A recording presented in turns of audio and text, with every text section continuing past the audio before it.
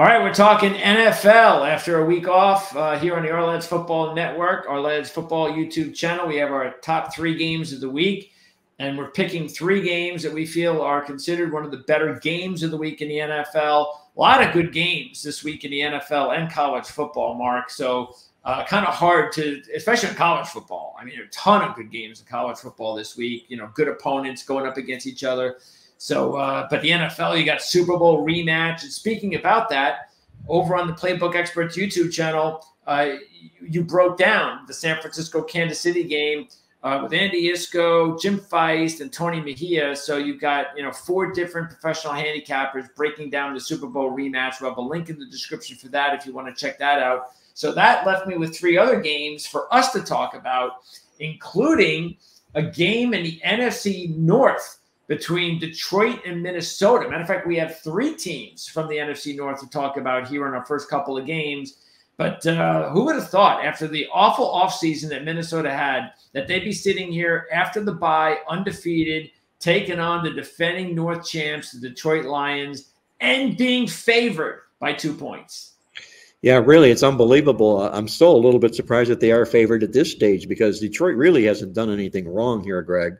But we all know what Minnesota's done this season here. They're one of two undefeated teams. They're coming back from London, playing some really, really good football. And a lot of that is because of what Sam Darnold has done. Sam Darnold, right now as we speak, the comeback player of the year in the National Football League.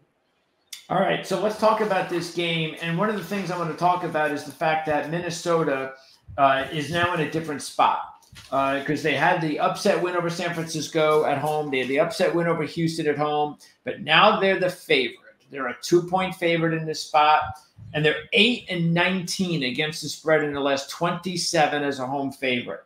Uh, of course, they're off to a great start. They haven't dropped a cover. They've won every game. They've covered every game, but they're also off a bye. So they're off a bye. Some, you know, some of the momentum just should stop a little bit, and they're not really as good in this situation as I just mentioned as a road favorite. Excuse me, as a home favorite. And on the flip side, boy, Dan Campbell and the Lions are really good in this spot. Uh, if you look at it, Dan Campbell is 13 and 7 against the spread as a road dog. He is 6 and 0 against the spread all time when he takes on a team that is either 500 or more uh, in the division. Um, and uh, also 9 and 1 against the spread uh, if uh, if he's basically off of a straight up double digit spread win. And he's 1 0 in that spot this year. That was last week's win. 27 8 and 1 eh, wow. uh, overall when they take on teams with a 500 or better winning percentage. 3 and 1 in that spot. So this is just huge numbers for Dan Campbell and Detroit that I think work in their favor. And I also look, they got pride. They're the defending champs, and we're the underdog. So I, I, don't I don't really care too much about the home field in these spots. I just think it's about who's the better team, and I just still think that Detroit's the better team, and I think that uh, they're going to try to go out there and prove it. Well, uh, I agree with you, Greg, and I say you can shorten up all those numbers real quickly. All you need to do is identify a couple of stats. Number one, yeah. uh, Detroit uh, has won the money seven times in a row in the series, uh, and they're the better Detroit football team now than yeah. they've been in those other seven games. Uh, they're also six and one in their last seven division road games, playing really, really well. And uh, the other side that I really like, what jumps out to me, is Sam Darnold in his career as a National Football League starting quarterback in division games. He's only seven and fourteen straight up and against the spread, and just one and five when he's been favored in a division game. I think the wrong team's favorite here, Greg. I like Detroit plus the points. Yeah, and by the way, speaking of that run Detroit's on against Minnesota, the last three games, 3 0 straight up ATS by six or more points. We know that Hutchinson is not playing. We get that. But that's something that's, I think, going to be an, an effect, a negative effect maybe as the season goes on in totality. But in one week, in one game, maybe there's even a little bit of a motivation for it that we're going to go out there and show everybody that you know we're going to rally around Hutchinson's loss. So if anything, in just one game right after it happened, it could work in their favor. So. You know, we talk about the old uh, rally around the starting quarterback uh, issue, which works really, really, rather well. You bring up a backup to replace a starting quarterback the first game, the team rallies around him. Well, they've lost their defensive stud, and he is a stud, Hutchinson. You may have the same similar situation on the defensive side of this football game as well. Okay, let's talk about the second team, uh, or the or the other team actually out of the NFC North that's playing this week as far as one of our top three games, and that's Green Bay hosting Houston. They're a two and a half point favorite in this one. First time, by the way, Houston's in a dog role, similar to Detroit. It's the first time they're in a dog role this year. But Houston's good in this role. They're nine five and one. ATS is a road dog over the last over the last fifteen times they've been in that spot. They're five and one on the season. But taking a closer look, they're only two three and one against the spread, and I think that matters because what it's saying is is well they're they're expected to be doing something and they're just not fulfilling that expectation. Um, and remember, they went to Minnesota and they did it with Collins, Nico Collins, who was off to a tremendous start at wide receiver and they still lost.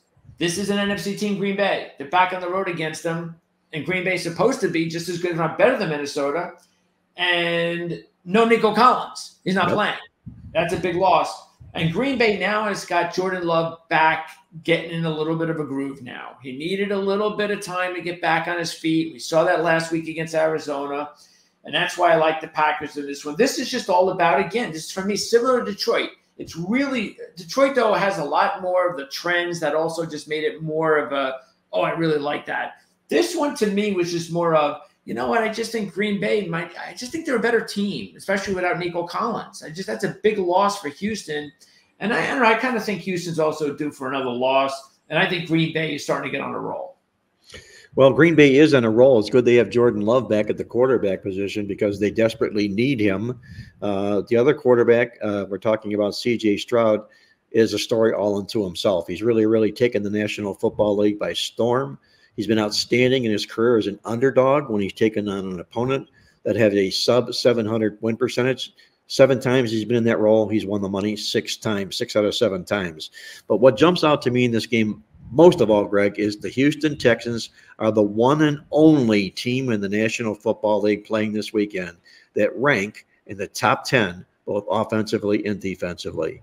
So they do things, they check both boxes coming into this football game from an offensive and defensive perspective. Give me the Houston Texans in this game. Yeah, that would and that would be a really big win for Houston if they can beat the Packers in the situation where the Packers seem to be right now and without Nico Collins, I think that's that would prove to everybody that Houston is a legitimate Super Bowl contender, and not just maybe a team that can go that next step in year two with the regime. Uh, because I'm not expecting that, especially the other team. I'm expecting to get that far. As I, as I said, um, I have Detroit and Green Bay playing uh, in the championship game, and I still uh, believe that's the case. So um, I'm sticking with the Packers. You're going to go ahead and take the Texans in this spot. And I'm going to move on to the third one. And this is going to be the Seattle Seahawks and the Atlanta Falcons. By the way, if you want to check out, like I said, the San Francisco Kansas City breakdown, you can uh, link in the description for the Playbook uh, Expert YouTube channel. We broke that one down on that show. But let's talk about this one where Seattle has dropped three straight after a 3 0 start to the season. Atlanta, meanwhile, 4 and 2 overall. Uh, they've won four of the last five. But Atlanta's not been good in this spot. Very similar to Minnesota. They're six and fifteen as a home favorite against the spread. Last twenty-one. One and two in that spot this year. And keep in mind they were almost zero oh and three, except they came back, tied the game late against Tampa Bay, won the game in overtime. So this is just not where Atlanta seems to be feeling comfortable. And Raheem Morris's career uh, numbers are still not very good in some of these spots. Three and eight at home off a straight up win. 2 and 13 against the spread versus an opponent off a double digit against the spread loss, 5 and 14 against the spread when you take on a team that's 500 or more. And I also just like the fact that Seattle is going to be coming into this game with a lot of motivation to stop the slide. I mean, I still think this is a good football team. So I, I don't look at this team as just a bad team that now is just going to, well, they're just not good. That's why they've lost three straight. They've come back to earth. I don't think that's the case. I think it's a good football team. They're 14 and 3 against the spread versus a 500 or better NFC opponent, non division, um, in this spot. So that's also another one to like. I, I am a little bit concerned with the 1 4 and 1 spread record. That definitely is not something that uh, I like here. But I think this is a pretty even matchup of teams that I think are pretty evenly matched overall. But I just think Seattle's a little bit more desperate. I don't like Atlanta as a home favorite, and that's why I'm going to go ahead and take Seattle. I'm going to be on the other side of the game with you, Greg, here in this contest here as well. Uh, I think Seattle is a bit of a phony baloney. Uh, reason being that uh, in a league where the running game has really come to uh, to the forefront, Seattle ranks dead last in the league in rush attempts per game.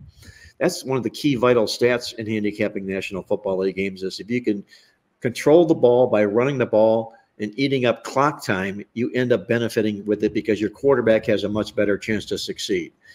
When you're dead last in rush attempts per game, all you're doing is bringing your punter out probably two, three, four times more than he should be coming out on the football playing field. And it's not now, fair to Geno Smith either. I mean, you're asking him to do things that you know he's not that elite of a quarterback. He needs a exactly. running.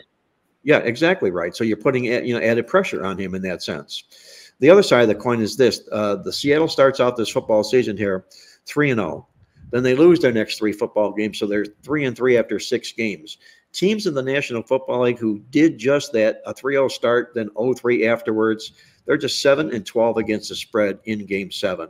That's the role for Seattle, so they have to find themselves to get uh, dig themselves out of this hole, which history says they're going to have a hard time doing. And what are they going to have to do? They're going to have to do it on the East Coast and an East Coast one o'clock body start clock or one o'clock start here. I think it's all up against Seattle in this football game here. Give me Atlanta, and I'll play the Falcons in this game. And the other thing too is, um, you know, you've got a college coordinator that he's got to start again, like you said. There's got to be some balance because he came from Washington, and of course we know Washington last year they did a lot of throwing the football. Yes, and they've got to figure. And now look, there are a couple of injuries on the offensive line that's definitely played into it. So we got to get some of those guys back uh, before you can say Seattle's offensive line and their their offense is completely set. So there's an issue there. And keep this in mind too. Atlanta is, is, is not very good at rush defense. Now you got to take advantage of that though and if Seattle just continues to not run the football against a team that can't stop the run, well, then they deserve to lose. So they better go. If I'm the head coach, Macdonald, the rookie coach, I'm going into that offensive root meeting and I'm saying, I want to run the football this week. They can't stop the run. We got to run the football. So we'll see. Well, go ahead. I'm sorry. No, I would say we'll see if they do, though. You know. Well, you know, this kind of a little sidebar note here, it really, truly, in truth, has nothing to do with the handicap. But a good friend of mine uh, used to uh, bet football games and didn't put a whole lot of work into his handicapping. and whenever he had a matchup of two teams whose nicknames were birds, like the Falcons and the Seahawks here, he would bet the dog because he was betting the bird dog in those football okay. games. Yeah. uh, well, he must have done well with. No, that. he didn't do well. No, oh, he didn't. Okay. no. no.